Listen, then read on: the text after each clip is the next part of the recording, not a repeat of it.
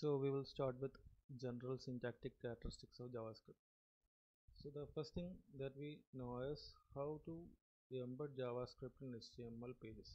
We already know to use a script tag, right? And we have already seen some examples of JavaScript embedding. And as we have discussed earlier, JavaScript can be embedded either in the head section or in the body section. And suppose that we are trying to embed JavaScript which is kept in some other file into our HTML page.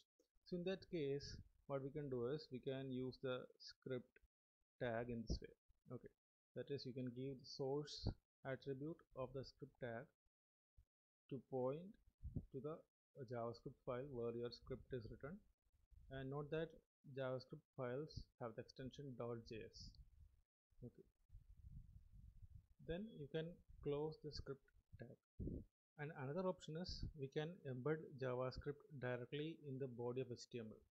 Right, we have already seen that. So if you see here, this is one example of JavaScript embedded in body of HTML file. So the script tag opens over here and closes over here.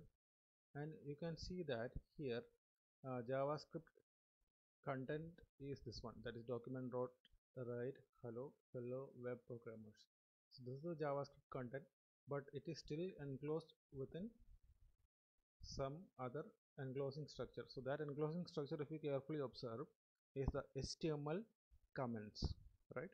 So uh, this was the earlier method to enclose javascript or embed javascript in html pages because in the earlier web browsers uh, it was not a necessary thing like javascript support should be there or not all browsers supported javascript engines or programs capable of pro processing javascript so what happens is if you don't include the executable javascript statements within the html comments what happens is uh, the browser is not given an option to skip those lines so those lines may be displayed as part of your html file if it is not interpreted as JavaScript. So if JavaScript is not supported in certain browsers, if you include if you enclose the JavaScript lines uh, within the HTML comments, then what happens is uh, it will be treated as some comment and it will not be shown on the HTML page. Okay, so in order to avoid uh, that is unintended effects of JavaScript in web browsers where JavaScript is not supported, it was earlier advised to keep javascript statements within html comments okay so as per your textbook once you open the script tag and close the script tag whatever is in between it should be enclosed in between another structure that is the html comment okay so always write your javascript code between html comment statements which are enclosed within the script tag. Okay so this is the first basic thing that we should take care while we directly embed javascript in html pages especially within the body okay because what is whatever is written within the body will be rendered at, as it is or will be uh, interpreted by html engines right? So assuming that uh, we are trying to show this code to all the browsers whether uh, this legacy type of browsers or the recent browsers they should be embedded. The html the javascript should be embedded between html comments. Next thing is about javascript identifiers or how we can name variables in javascript. Okay so these are the basic rules. That is just like in c c++ variable names or identifier names should start with letter underscore dollar sign and subsequently can be alphabets or digits. And uh, one more thing javascript is really case sensitive.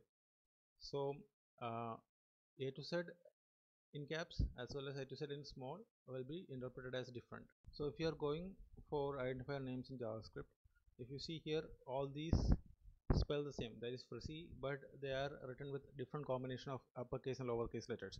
So all these identifiers are different or distinct names. And one more thing javascript reserves some keywords. So these are uh, the list of javascript keywords so you won't be able to use them for identifier names.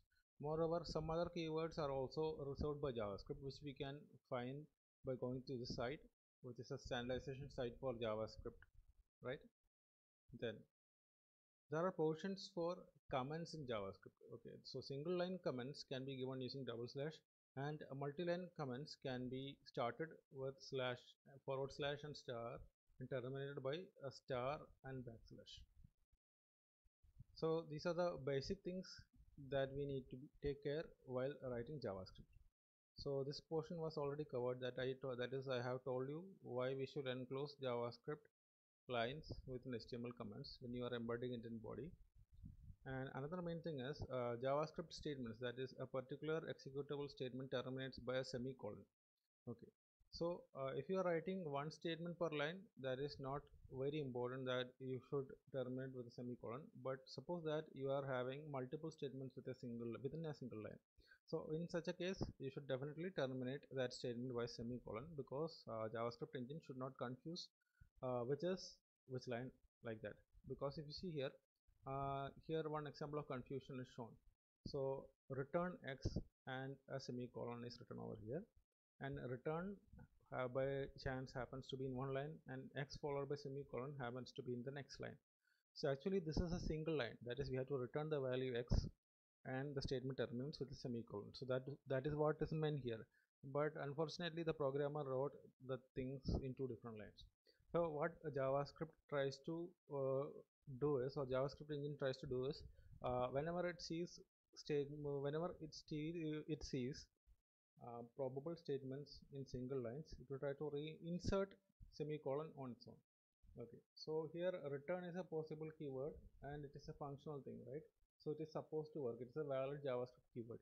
So javascript will try to run that statement by making it a valid statement by putting a semicolon at the end so the return x which happens to be single statement now is converted to two different statements. That is return followed by semicolon and x followed by semicolon. So what happens is uh, the second part that is we won't be able to reach the second part that is x semicolon because when return is encountered at that point return to the original caller is initiated. So x followed by colon is actually orphaned right? So the intended effect is not produced. So wherever possible when you are terminating a javascript statement always terminate it with a semicolon so that unambiguous situations won't arise